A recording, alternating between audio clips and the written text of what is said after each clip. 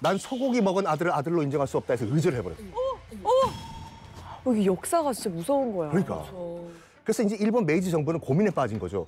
이런 일본 국민들에게 고기를 먹일 수 있는 방법이 뭐가 없을까 하다가 음식이 고기처럼 안 보이게 만들자. 어? 그래서 눈에 들어왔던 것이 영국의 커틀렛이라는 음식이었어요. 네. 어, 그거 돈가스. 튀김 요리처럼. 그렇죠. 근데 이 커틀렛은 너무 얇아. 조금만 싸면 고기가 나와요. 맞아요. 아예 고기가 안 보이게 두껍게 빵가루로 묻혀가지고 완전 튀겨버리자. 아.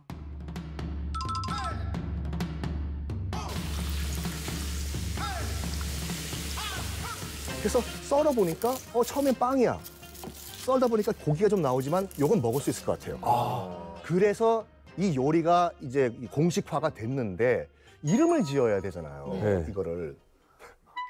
어, 일- 뭐였을까? 예? 일본어로도 돼지는 돈이에요. 돈 커틀렛으로 하자. 돈 커틀렛요? 근데 커틀렛을 일본인들이 발음을 못하는 거예요. 예. 돈 카르텔레토. 돈 카르텔레토.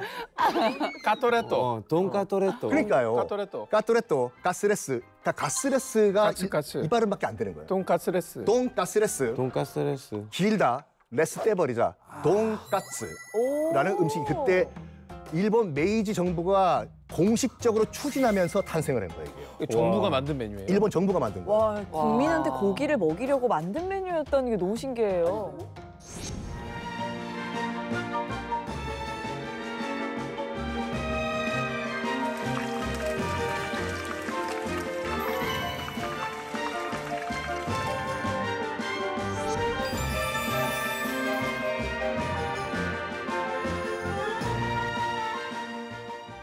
전 저는 저게 너무 지금 궁금합니다. 원래 내가 알던 인도 요리가 아닌 그렇죠. 지금 일본식 일본에서 카레. 만들어진 게 너무 신기하거든요. 카레가 왜?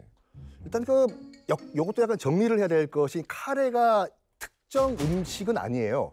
응? 이거 만드는 방법이지. 네. 그러니까 마살라라고 하는 그 향신료 가지고 만든 음식이 이제 일반적으로 커리라고 하는데 네네. 이게 여기에 왜 있냐? 인도 왜, 요리. 왜 있어요, 진짜? 갑자기 인도에서.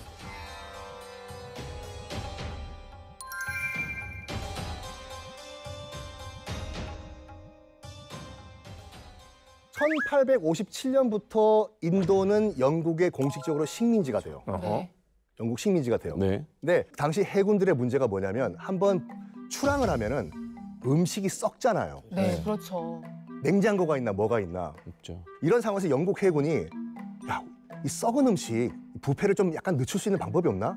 인도 커리를 좀 섞어서 먹어보니까 네. 약간 부패를 해도 먹을 수가 있는 거예요. 오. 채소나 뭐 육류 이런 것들을. 아니 거기 향신료들이 또 살균 작용하는. 그렇죠, 그렇죠. 그런 역할도 있으니까.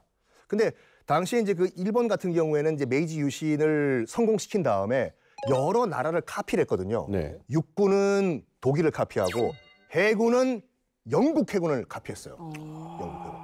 그래서 일본 측에서 영국 해군에 가 보니까 이걸 비벼 먹고 있는 거예요. 네. 육류나 그 생선. 채소류에 네, 네.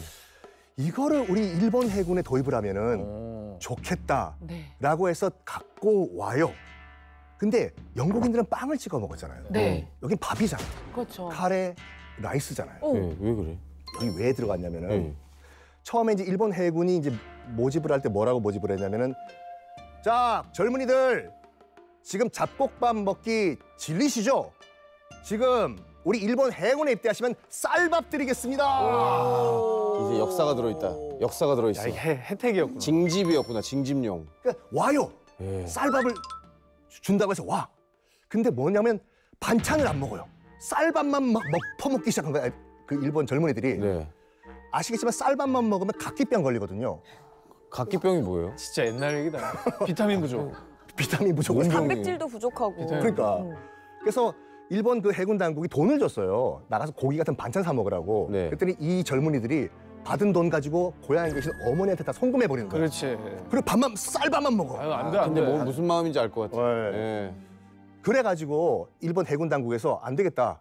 잡곡밥을 다시 주자. 어. 난리가 난 거야.